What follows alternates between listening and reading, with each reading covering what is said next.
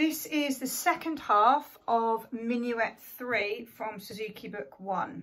So we're starting on, um, hopefully you've got to grips with the bowing now. We're starting on an E4. That's a B. Make sure you've got a good hand posture so that you can get that. My little finger tends to collapse a little bit. Try not to get it to collapse. If you've got your hand in the right position, it helps. Okay, so we've got E, then we've got a low two. So make sure you've got your hand in the position so you can get that E in tune and you can get that low two, that G natural. Okay, so we've got... And we go on to the A string.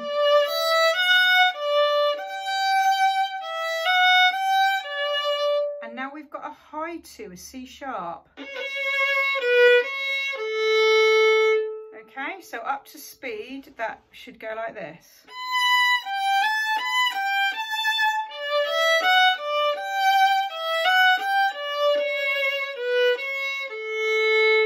At this point, the pattern changes. We've got new material, we've got new rhythms. This is the first time we've had um, six quavers in a row in this piece and we're still um, we've still got those high twos because we have modulated, we've changed key to D major and those C sharps, those high twos are helping us to get there. So on this line, we are modulating, we're changing key. We've still got that slur in there, really important to keep the character of the piece. And it's just a scale. Go up to our low two on the E because um, we're in G major, modulating to D, we still need that G natural, okay?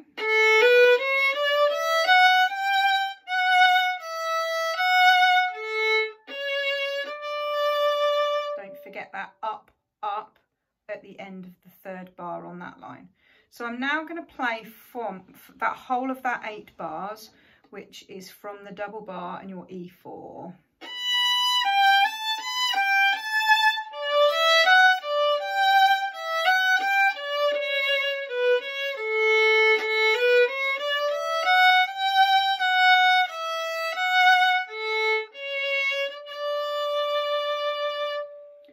So that's the first half of the minuet. Uh, sorry, the first half of the second half of the minuet.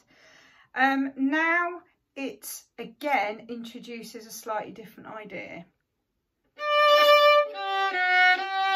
So we've got the three on the A, straight over to three on the D string. Then we stretch over to a fourth finger on the E on the A, which is your note E and then we play that again. So it's a beautiful little repetition, but with a difference. So that, that third finger D to the E makes that, um, makes that lovely little sequence.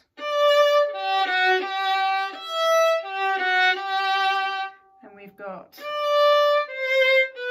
notice we're modulating back now so we're going back towards uh, G major, so we don't need the C sharps, those high twos anymore. We're going back towards G.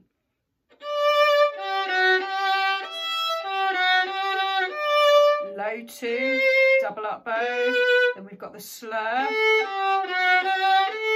You can see the creeping back in the, the sequences and the bones from the first half.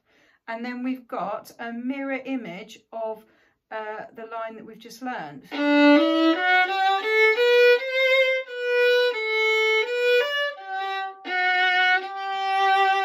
So, where we had in the, um, where we did in towards D major and we had our C sharp.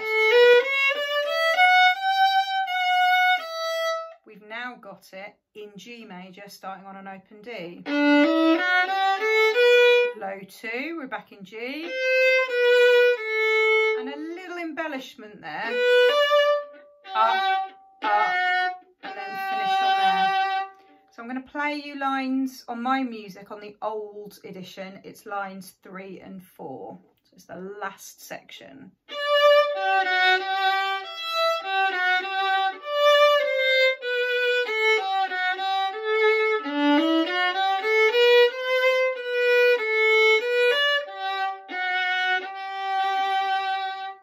So that is the second half of the minuet.